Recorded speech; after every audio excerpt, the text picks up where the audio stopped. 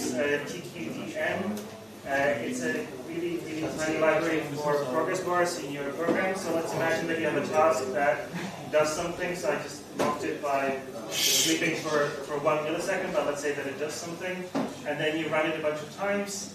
And so you run it, and then you wait, you don't really know what the progress is. So maybe it's not 1,000, maybe it's maybe it's 10 million, maybe it's taking hours, and you really want to know what's happening.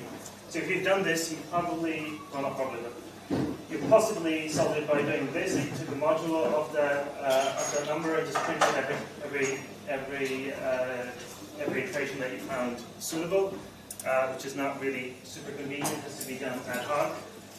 If you were a bit fancier, you did something like this, where it's always rewrite and would look kind of cool. Uh, but it still doesn't really solve the issue. It can be easily solved by TQDM, which I think doesn't have any further dependencies, so it's very likely because you can use it in uh, your CLI projects or other projects.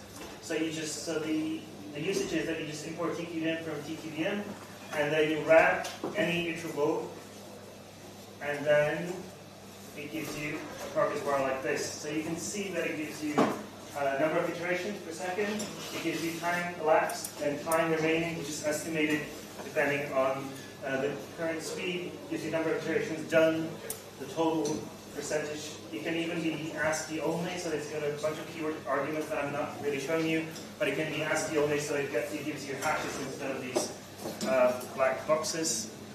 Um, you can even wrap iterators that don't have a, uh, a, specified length. So let's say I have a generator that just just launches my task uh, a given number of times, but uh, TQDM doesn't know that work does this 3,000 times.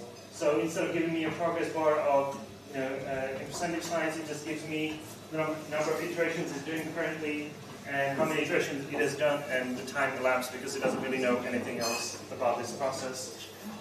So this is, for example, very useful to you, for example, querying a database and just getting the results row by row.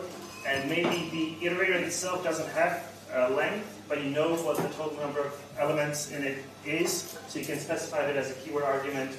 So, uh, so imagine that this is you know a cursor on a database, and you know how many elements there are, so you can just supply a total uh, there, and it gives you a progress bar like uh, before. And that's it.